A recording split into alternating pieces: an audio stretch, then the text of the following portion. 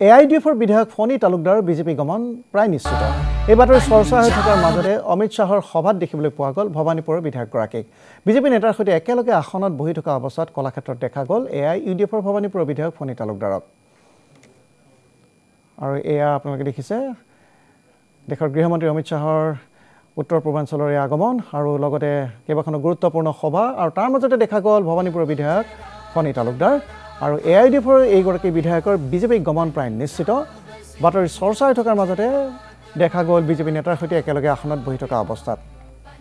কলাক্ষেত্ৰৰ এই দৃশ্য पंजाब सिंध गुजरात मराठा द्राविड पंजाब सिंध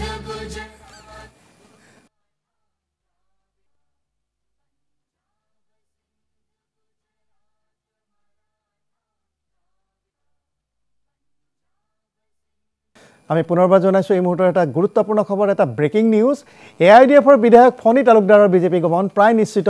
এই বাতৰিৰ চৰ্চা হৈ থকাৰ মাজতে অমিত শ্বাহৰ সভাত দেখা গ'ল ভৱানীপুৰৰ বিধায়কগৰাকীক বিজেপি নেতাৰ সৈতে একেলগে আসনত বহি থকা অৱস্থাত শ্ৰীমন্ত শংকৰদেৱ কলাক্ষেত্ৰত দেখা গ'ল এ আই ইউ ডি এফৰ ভৱানীপুৰৰ বিধায়ক ফণী তালুকদাৰক